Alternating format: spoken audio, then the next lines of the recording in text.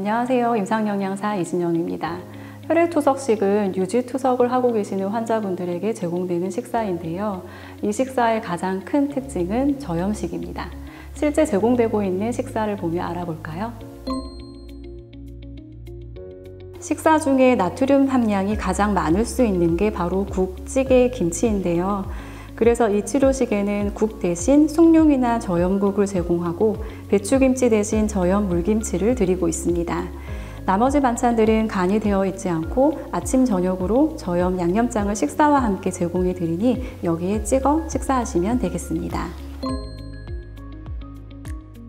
투석을 하고 있는데 계속 칼륨 제한을 해야 하나요? 라고 질문하시는 분들이 계세요.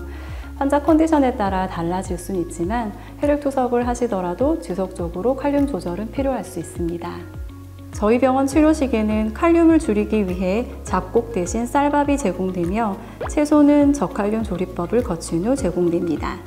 주의식품으로는 잡곡, 멸치, 콩, 치즈 등의 단백질, 시금치, 부추, 미나리 등의 채소, 바나나, 토마토, 키위 등의 고칼륨 과일이 있습니다. 자세한 내용은 상단의 버튼을 눌러 저칼륨식 영상을 참고하시기 바랍니다. 세 번째 특징으로는 단백질을 적당히 섭취하는 식사입니다. 투석 전에는 단백질을 제한했지만 투석을 하게 되면 손실되는 부분을 보충하기 위해 늦기 적당량의 단백질 섭취는 꼭 필요합니다. 필요량보다 적게 섭취 시 빈혈이나 영양 결핍이 생길 수 있고 반대로 필요 이상으로 많이 드시게 되면 노폐물이 증가되므로 적당량 드시는 것이 중요합니다. 단백질 섭취량은 한 끼 기준으로 달걀은 한두 개, 두부는 세네 조각, 고기나 생선의 경우 한 두 토막으로 이 중 한 가지를 선택해 드시면 되며 병원에서 제공되는 양을 참고해 드시면 되겠습니다. 후 단백질 섭취가 늘어남에 따라 인 섭취량도 함께 증가될 수 있습니다. 따라서 인 수치가 높은 분들은 다음의 식품을 함께 주의하도록 합니다.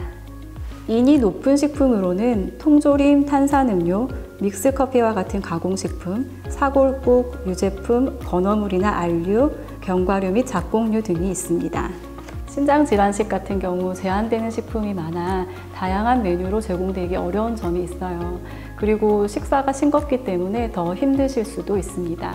환자분들은 무엇보다 잘 드시면서 또 좋은 영양 상태를 유지하시는 것도 중요하기 때문에 식사 조절이 필요한 경우 저희에게 상담을 신청해 주시면 적극 도와드리도록 하겠습니다.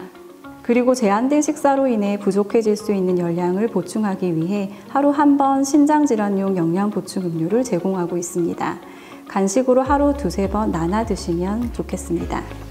영양 보충 음료는 아침 간식으로 제공되며 점심, 저녁 간식으로는 통조림 과일이 제공됩니다. 삼투압이 높아 한 번에 드실 경우 복통을 일으키거나 고혈당을 유발할 수 있으므로 꼭 두 번에서 세 번으로 나눠 드시기 바랍니다. 혈액투석식은 투석 중 손실되는 영양소를 보충하고 염분과 칼륨을 조절한 식사로 어렵지만 잘 유지하시면 치료에 많은 도움이 되는 식사라고 생각합니다. 치료식 드시는데 도움이 되셨으면 좋겠습니다. 감사합니다.